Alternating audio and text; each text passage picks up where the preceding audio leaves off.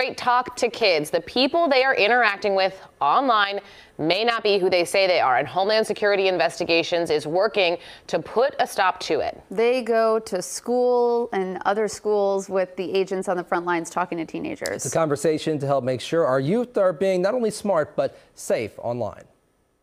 Once you send something or post it, you can't get it back. Potentially life altering advice. People are like, oh, I'll just delete it.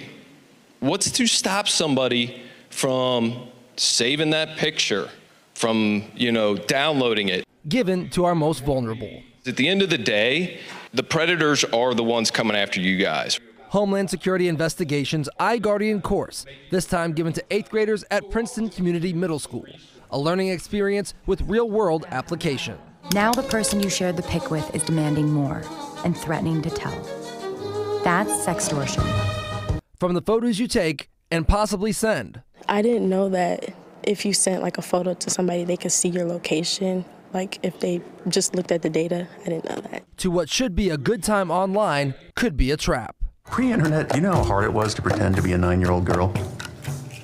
Now I just roll up looking like their BFF. Yeah, I think people were mostly shocked at like Roblox and Minecraft and Fortnite and stuff because usually they just play with their friends, but still some people still play with like people who they don't know.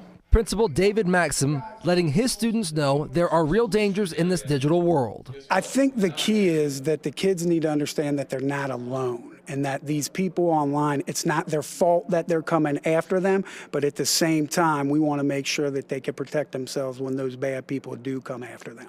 The federal agents in the room hoping this goes beyond just a presentation and is a lesson kids hold on to. We educate students, we educate children, we educate parents and, and educators.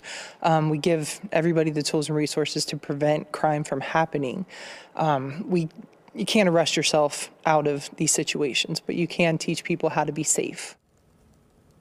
All right, if you know of a victim or have a crime to report, you can reach out directly to the Homeland Security Investigations tip line at number 866 347 2423.